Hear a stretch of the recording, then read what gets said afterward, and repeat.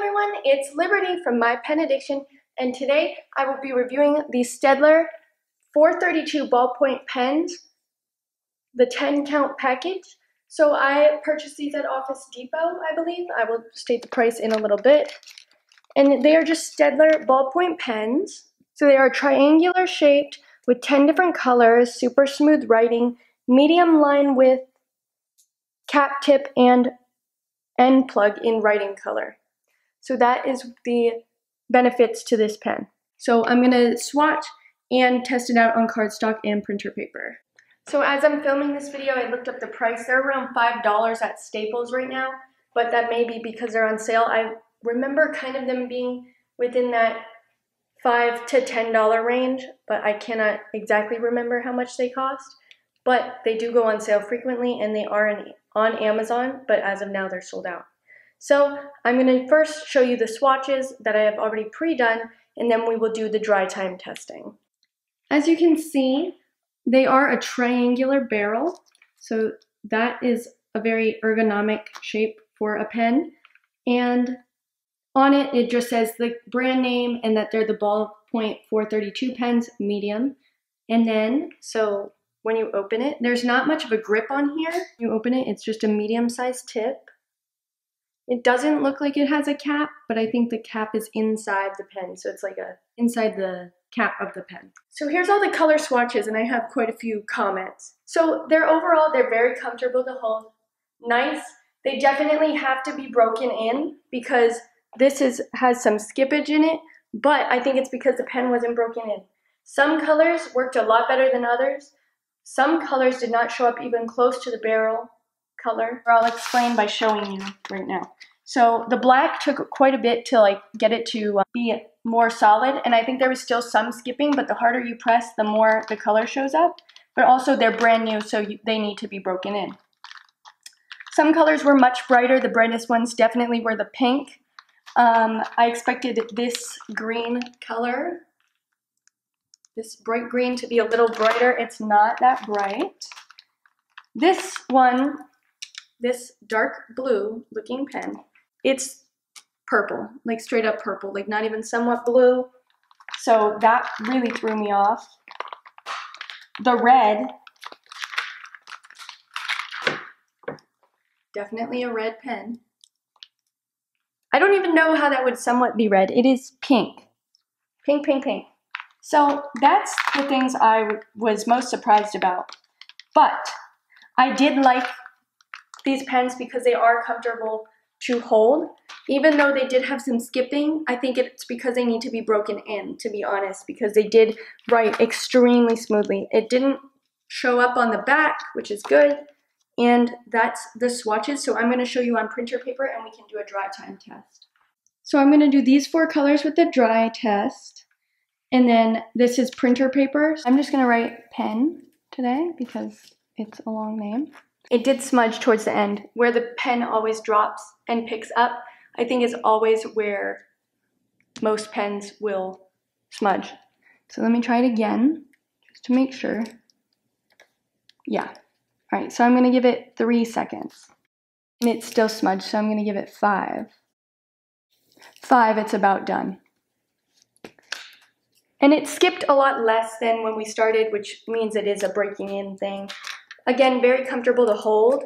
And also in my videos, when I, if it's time lapse through the drying process, it is always still that time. I just try to fast forward it because it's boring. Black totally smudged quite a bit right away. So let's give this one five seconds. Still smudged after five. So let's give it 10. And the harder you press, it's gonna smudge more. That's inevitable. 10 seconds. It's still a little, so I'm gonna give it like 12. Okay, so the black took the longest. It was about 12 seconds. I would say 10 to 12, depending on how hard you press. I just try to always, whenever I'm swatching or dry testing, I always do my normal, like, my normal pressure. So here's this green, which you can tell. If I just do that once, you can barely see it. So like this one, I needed to like really press to even get the color to show up. So it didn't smudge because like there's barely any pigment. So I don't know if this is one is just like not a good pen, like I got a bad one, or is it just this bright color? But I'm not this mad about it because it doesn't take any time to dry, it. but also, to be honest with you, I would never use this color, most likely, unless I'm like coloring, because it's not just, it's just not something that you use all the time. So I'd be okay with it. See the pink? That's super light. It did a, skip a little, but I barely touched it, and it was almost dry. So I'd say I'd give it one, two, three, and it's dry in three. So the lighter colors definitely dry quicker. The darker colors take the longest, which is a normal thing for pens. And so it ranged from zero to 12 seconds. So like there's a big range. And it depends on what colors are you actually going to use because I know you don't have to get a 10 piece set of this. Like it makes sense if it makes sense for you. Now we're going to do a dry time on cardstock. I'm going to do the same four colors again because it's going to be consistent, but I'm going to start with black because that's the first one I grabbed. It It's writing smoother every time it did smudge. Okay, that's not focused. Pardon my focusing. It's like it, it barely smudged. It smudged less than on the printer paper, which is normal. Take in the ink. That was three seconds. It's not dry, so I'm going to try five. Five is almost dry. I'm going to try like seven. Seven, it's dry. So see, between seven and 10 to 12, there's a big difference, and that's because of the porous cardstock allows the ink to sink further into the paper, which normally means it has a quicker dry time because it, the ink sinks into the paper. But sometimes with some pens, it's not like that because they sit at the top of the surface. So the blue already smudged a lot less after one second, so I'm gonna give it three seconds. Three seconds, it's done, compared to five. And so it's not dark blue unless I press really hard because it's a yellow paper. Makes sense. It doesn't show up on camera too blue, but like you can tell. Next, we're gonna do the green again. This one, it's writing better every time. It's writing more every time. I doubt it'll smudge in the first place, even if I barely write. It's super light. Yeah, it's no smudging. Okay, which is good. It's a light color. The pink one smudged a little bit right after. Three, it's done. Let me try it one more time. Maybe I pressed too hard. Yeah, I'd say one to three just in case. I feel like I pressed a little hard on this compared to what I would normally do. So it's either, most of them are quicker for sure on cardstock. So that's always better, but are you gonna use this? You have to think about what you're gonna be using it for, when you're gonna use it, and like what colors you need and things like that. Because every pen is different for a different person. I may hate something that you love, and that's good if it works for you. If it doesn't work for you, it works for other people. Okay, so I'm gonna give my final thoughts and give my rating. So I'm going to rate these. I was going between a 6 and a 7, so I'm going to give a 6.5. And I have reasons for taking points and I have reasons for adding points. The biggest reason why it's higher points than like because of the cons of the pen is because the price point. If you can find them for around $5, I think that's very reasonable.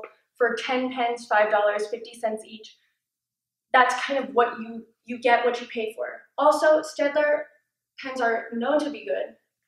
So I could tell they get better as you break them in. Another thing that I'm going to add points for is because they were extremely smooth. The triangular grip is very comfortable. Also, I like the packaging as how it's all held together very nicely and well organized. What I'm taking away points for is things like the color discrepancies, such as the blue and the red, because they're not blue and red, or they're not super blue or super red. Also, this green one, it's just not that great of a color payoff.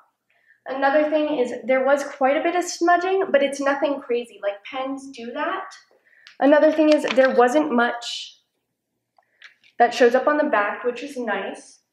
But the skipping did take away a couple points, but I understand that it gets better. So that's why I'm giving it a 6.5. But you also have to think, will these work for what you want and what do you like? What do you prefer? Are you going to be annoyed by that? So it's more of a, that's how I see it. So like I would normally take these points away, but since this is why, so since it's comfortable, since they're working better as I go, that's why I'm adding points. So thank you guys so much for watching. I'll link these pens down below. There is no affiliate link unless stated. These will not be affiliated. I purchased them with my own money. So thank you for watching. Don't forget to like, comment down below what pens or writing instruments you want me to review, and please, please, please subscribe and click that little notification bell so you stay updated on whenever I post. Also, I'm sorry for the break. I've been so inconsistent. I've been sick, there's been finals, it's been a mess. So, thank you for watching. I will see you in the next video. Bye!